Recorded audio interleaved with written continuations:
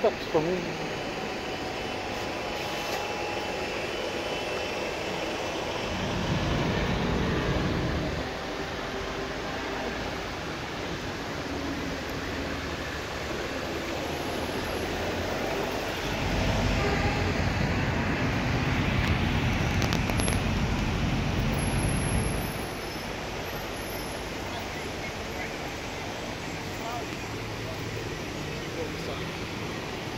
well done.